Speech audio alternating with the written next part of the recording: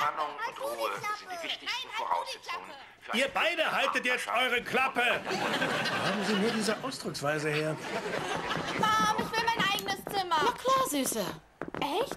Ja, und wenn ich schon dabei bin, schüttle ich gleich den neuen Westflügel unseres Hauses aus meinem Ärmel. Warum kauft ihr nicht einfach ein neues Haus? Judy, viel Spaß beim Schütteln und denk dran, wir brauchen eine Million Dollar.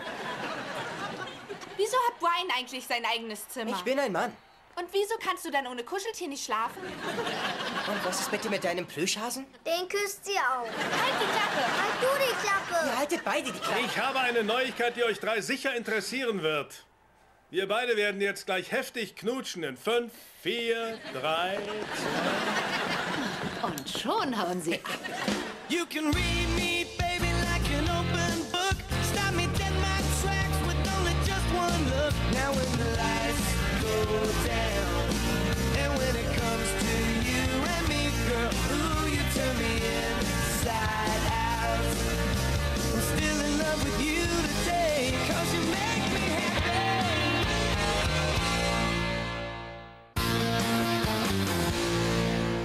Oh mein Gott, die Bilder sind echt krass.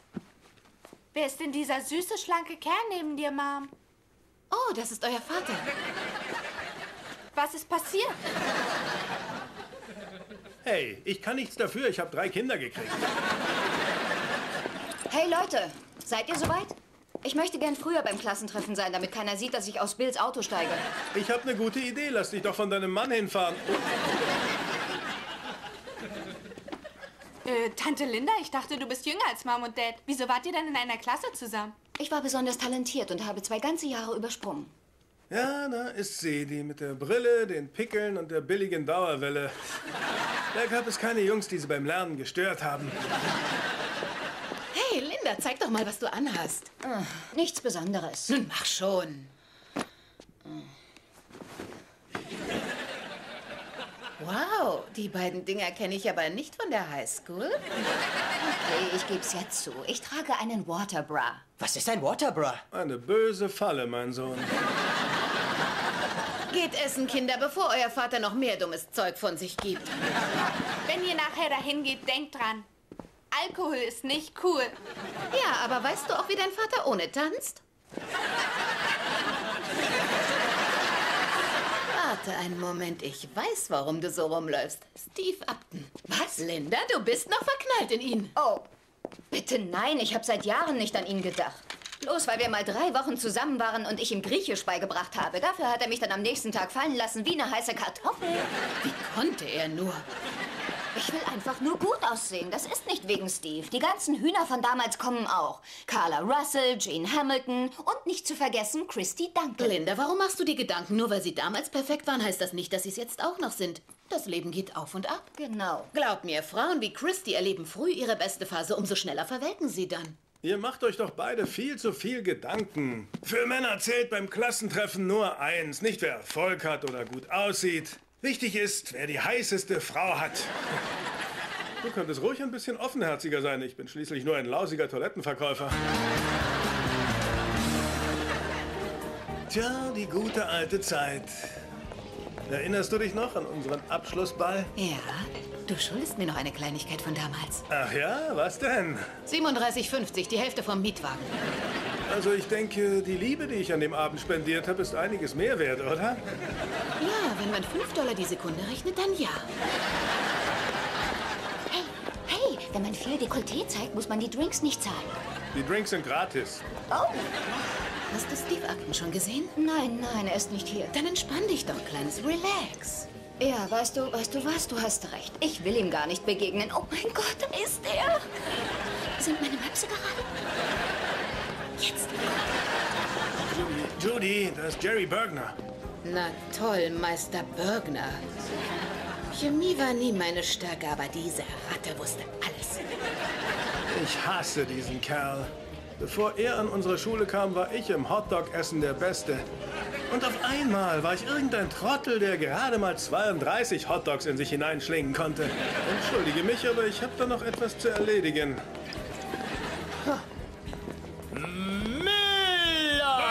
Na! Hast du schon gehört? Also, Beim Frühstück morgen gibt's Eierkuchen, so viel man will. So viel wie du willst? Oder so viel wie ich will? Hm, Riech ich da eine Herausforderung oder ist das nur dein Deo? Das Einzige, was ich rieche, ist deine Scheißangst. Oh ja? Ich wette 50 Mäuse mit dir, dass ich mehr von diesen idiotischen Eierkuchen verdrücken kann als du. Gut. Riecht's aber lecker, das Buffet ist eröffnet. Los. Judy Michaels? Christy Duncan. Du siehst toll aus. Hey, du erinnerst dich an mich? Natürlich, warum denn nicht? Na ja, wir kannten uns kaum. Du warst in deiner coolen Clique. Auf mich hat eigentlich niemand geachtet. Oh, bis auf das eine Mal, als ich die Wodka-Melone mit in die Schule brachte. Oh ja? Und die Rumananas, weißt du noch? Ja, das war die Hollywood-Obst-Diät. Na, und wie läuft's denn so? Danke, gut. Oh, erinnerst du dich an den Kerl, der damals bei der Zeugnisverleihung seine Hose verloren hat? Was macht der Idiot heute? Er ist mein Mann. Schön für dich. Seid ihr noch zusammen? Wir haben drei Kinder. Ich auch. Ist es nicht großartig, dass wir uns jetzt endlich näher kennenlernen in der Highschool? Da wollten wir doch nur wissen, wer die beliebteste ist und wer mit wem abhängt. Ja, wir waren sehr dumm. Aber heute sind wir dafür zwei äußerst erfolgreiche Mütter. So ist es. Was machst du eigentlich beruflich? Ich bin Architektin. Ich baue gerade einen Flughafen in Hongkong. Und was machst du? Ich bin Zahnarzthelferin. Du reinigst Zähne. Nein, ich assistiere demjenigen, der die Zähne reinigt. Aber das ist ein sehr schwerer Job, weißt du. Wenn der Arzt nichts mehr sehen kann, weil die Brille beschlagen ist, dann wird sie von mir gereinigt.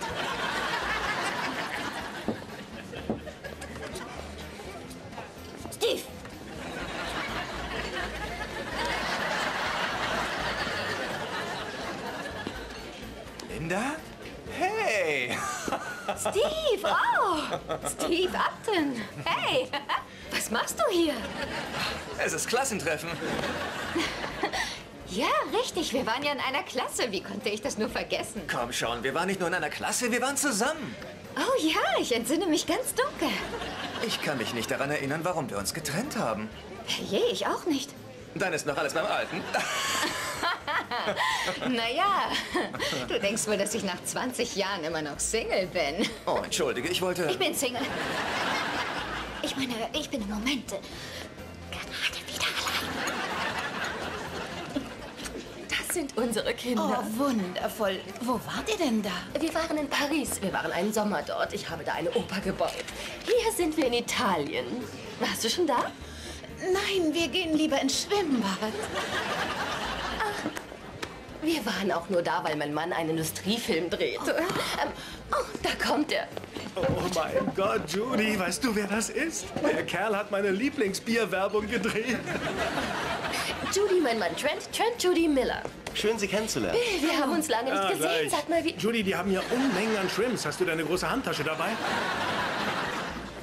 Das war wirklich ein sehr guter Witz. Der Kühlschrank ist voll mit Shrimps. Also du hast deine Handtasche nicht dabei. Bell, was sind Sie von Beruf? Er ist Verkäufer. Und was verkauft? Designartikel. Hauptsächlich Toiletten. Hey, Sie verkaufen Bier und ich Toiletten. Die Kunden rennen immer zwischen uns hin und her.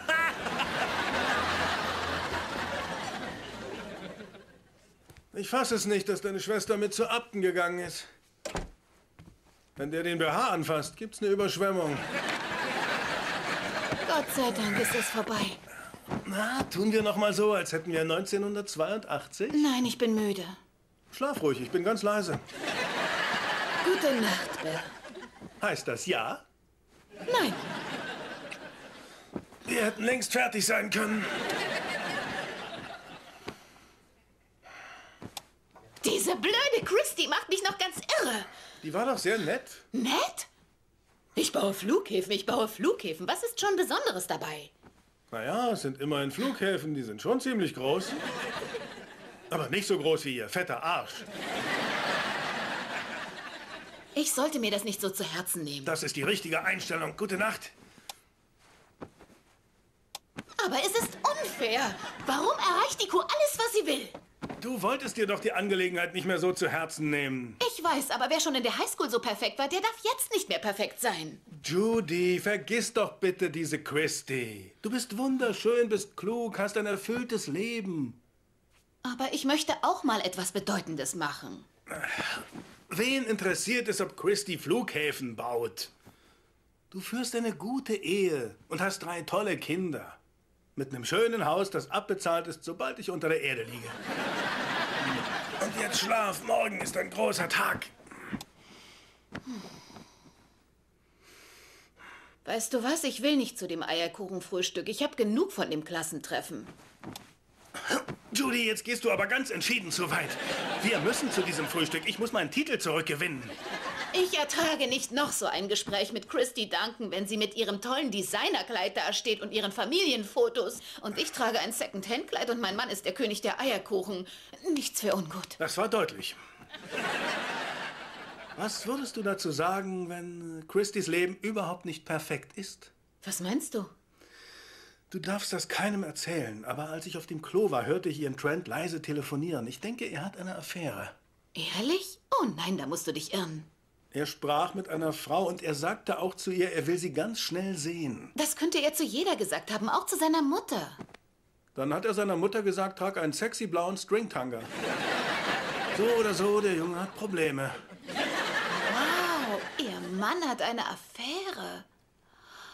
Das ist so toll! Ich wusste, ihre Phase geht zu Ende. Die arme, dumme Christy, ihr Leben ist im Arsch. Hast du gegluckst? Ja! Bist du noch bereit für eine Runde? Ich weiß nicht, du bist gerade so böse. Ich halte mich auch zurück. Bitte nicht. Das ist euer Klassentreffen. Was soll ich hier? Der Grund ist bla bla bla bla bla.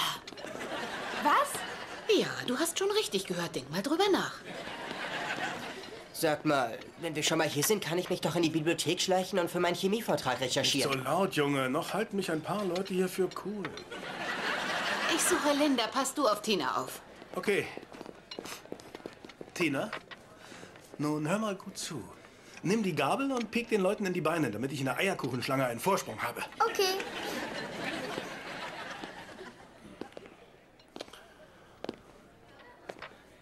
Bill. Jerry? Hungrig? Könnte man so sagen. Der Teller ist ein bisschen heiß. Und wie? Hey Leute, Hey, wisst ihr was? Der Mann von Christy Duncan hat eine Affäre. Die Leute reden über nichts anderes. was? Also, was war gestern Abend? Eine Lady genießt und schweigt. Süße, eine Lady erscheint nicht im Cocktailkleid des Vorabends zu einem Eierkuchenfrühstück. Okay, er ist großartig. Du kennst meine Zehn-Punkte-Liste, die ein Mann erfüllen muss. Steve hat alle bestanden. Und Punkt 7 habe ich ganze dreimal geprüft. Judy, ich muss dich sprechen. Klar. Hast du irgendwem erzählt, was ich dir über Christy Duncan gesagt habe? Nein. Wirklich nicht? Naja, Terry Boulder hat angerufen und gefragt, wie es den Kindern geht. Da ist mir vielleicht was rausgerutscht, aber sie wollte es für sich behalten. Na gut, solange es nur das Plappermaul Boulder weiß, die Leute reden über nichts anderes. Ich wusste ja nicht, dass sie es weitererzählt. Das ist ja schrecklich. Aber vielleicht ist das gar nicht so schlimm. Wenn der Kerl sie schon hintergeht, dann sollte sie es gefälligst erfahren. Vielleicht aber besser nicht. Warum, Belle? Ihr Mann hat doch eine Affäre, oder nicht? Ja, ja, ja. Nein. Was? Ich habe alles erfunden. Oh, du meine Güte, wie konntest Ich wusste du nicht, nur? was ich machen sollte. Du warst so deprimiert. Aber das bin ich doch dauernd. Ich lüge dauernd. Das ist wirklich nicht zu fassen. Ich hatte keine Wahl. Du wolltest doch nicht zum Eierkuchenfrühstück kommen. Du hast behauptet, Trent würde Christy hintergehen, nur damit du Eierkuchen bekommst? Ich wollte nicht nur diese blöden Eierkuchen. Ich wollte Sex. Bill, finde heraus, wer das weitererzählt und sag denen, dass es nicht stimmt. Ich werde mich bei Christy entschuldigen. Warum? Vielleicht weiß sie noch gar nichts davon. Das macht doch nichts. Das Gerücht ist im Umlauf, verstehst du? Okay, ich gehe schon, aber ich verbrenne dabei Kalorien, die ich noch nicht gegessen habe. Weißt du was? Ich habe eine Idee. Wir gehen nachher wieder zu dir, machen den Kamin an, eine Flasche Wein auf und hören die Beatles. Oh, das klingt gut. Äh, Nur bitte nicht die Beatles, die mag ich nicht. Ach ja? Naja, egal. Dann eben du und ich und Nummer sieben. Was? Nichts.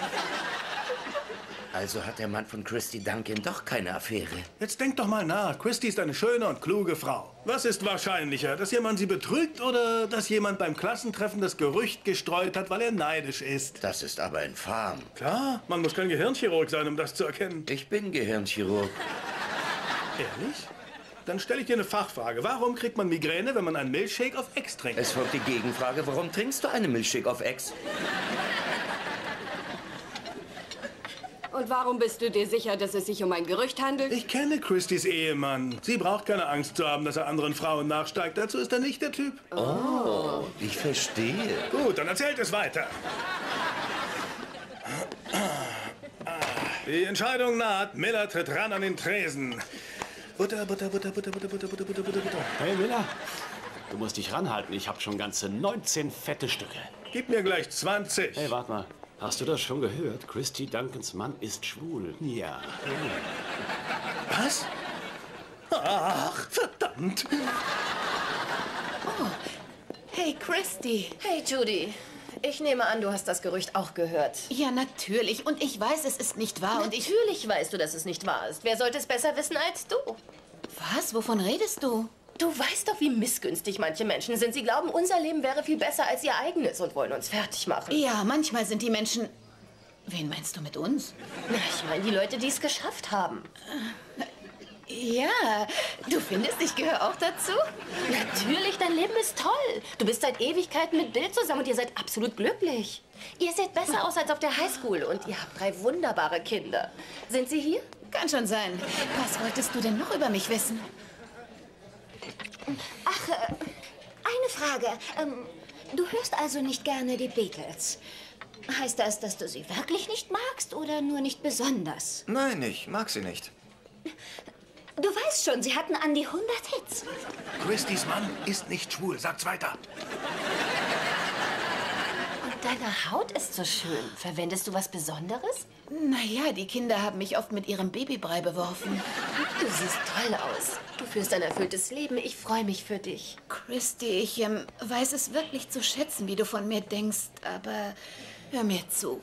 Ich weiß, wer das Gerücht über euch in die Welt gesetzt hat und das tut mir aufrichtig leid. Natürlich muss es dir leid tun. Du bist ein guter Mensch. Du bist keine intrigante Natter, die herumlügt. Wer war's? Meister Bergner.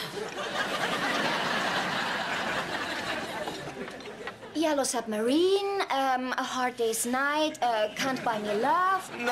Sarge- äh, Piano Man. Was ist mit Piano Man? Oh ja, das ist gut. Das Lied ist von Billy Joel!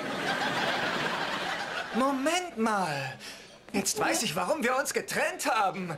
Ach ja? Ja, wir waren in so einem Burgerladen. Ich wollte einen Burger. Nur Fleisch, ohne Extras. Aber du hast es nicht geschnallt und die nächsten zwei Tage hast du mich damit genervt. Ich bitte dich, Fleisch zwischen Brot. Wer ist denn sowas? Äh, ich.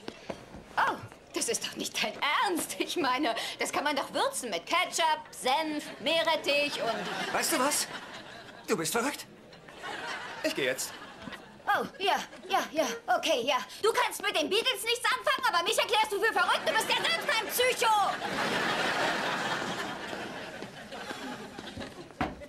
Hey du. Also, das mit der Affäre ist aus der Welt. Na und, der ist sowieso schwul, habe ich gehört. Was ist mit ihr los? Nichts, alles in Ordnung. Wirklich? Ja, Christy Duncan hat mir gerade erzählt, wie großartig sie mein Leben findet. Was hat sie gesagt? Sie meint, dass wir eine tolle Ehe führen und lobt die Kinder. Und ach, diese Haut sei ja so beneidenswert. Verstehe ich das richtig? Wenn Christy Duncan dir genau dasselbe erzählt wie ich gestern Abend, dann geht's dir plötzlich besser. Wo liegt das Problem? Na, wenn ich dir das sage, dann hörst du mir nicht mal zu. Oh, bitte, du wolltest nur, dass ich still bin. Ich habe es dir gesagt, weil es die Wahrheit ist. Sieh dich doch um, Judy. Ich hatte was mit jeder Frau, die du hier sehen kannst. In meinen Träumen. Ich habe mich für dich entschieden. Wenn ich dich sehe, dann klopft mein Herz wie beim ersten Mal.